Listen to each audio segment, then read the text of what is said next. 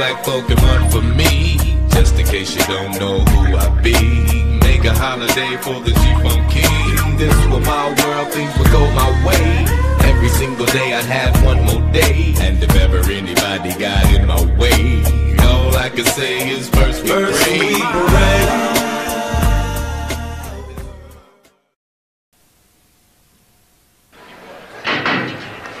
Okay, tough guys, bend over.